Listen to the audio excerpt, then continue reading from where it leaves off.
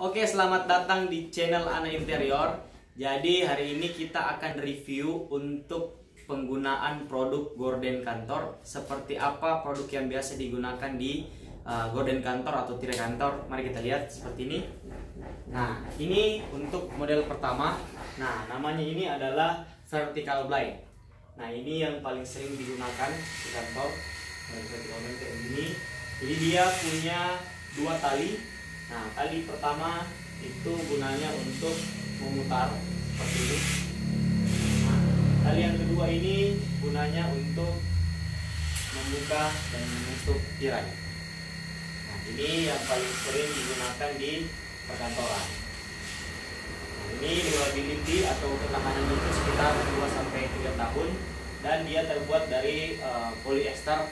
Nah, untuk vertical blade ini dia terbagi atas tiga varian. Yang pertama dim out yang seperti ini, yang kedua itu ada namanya solar screen dan yang ketiga blackout. Nah, pada sampel kali ini kita kebetulan e, mencetak namanya dim out, jadi dia pencahayaannya sekitar e, 10% seperti ini. Nah, ini untuk model. Selanjutnya untuk penggunaan kantor adalah model roller blind. Nah, roller blind itu seperti ini. Nah, roller blind. Ini dia uh, kelebihannya karena penggunaannya simple, cukup satu tua saja dan segi durability atau ketahanannya cukup lama sekitar uh, 5 sampai 3 sampai 5 tahun, sorry. Nah, kebetulan di roller blind ini sekarang dia menggunakan tipe kain namanya solar screen. Nah, jadi ini yang paling bagus tipe kain karena kenapa? Selain uh, efek untuk mengurangi cahaya matahari, dia juga meredam atau menyerap sinar matahari.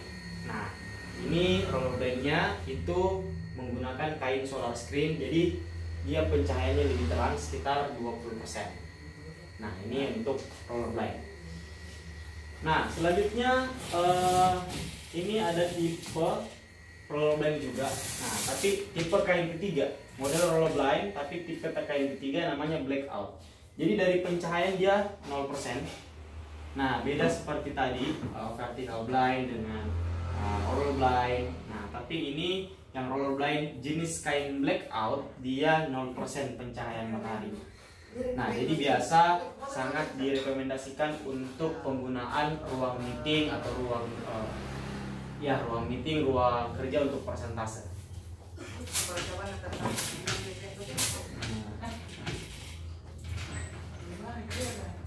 Oke, okay, next ini namanya horizontal blind, biasa digunakan juga untuk penggunaan kantor.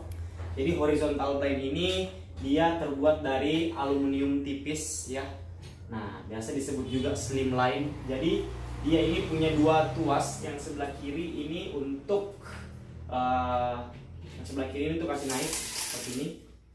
Nah, dia bisa dibuka setengah atau dibuka oh seperti ini. Ini bisa. Nah, ini tuas kiri gunanya untuk membuka uh, tutup gordennya. Terus yang tuas sebelah kanan ini merupakan pengaturan cahaya. Jadi pengaturan cahayanya ketika kita ingin cahaya ke bawah itu kita putar aja ke kanan dan sebaliknya ketika kita ingin uh, ke kiri bisa naik ke atas pencahayaan matahari. Nah ini terbagi tiga varian itu ada namanya uh, motif, motif uh, terus deluxe dengan progress. Jadi yang ini tipe deluxe.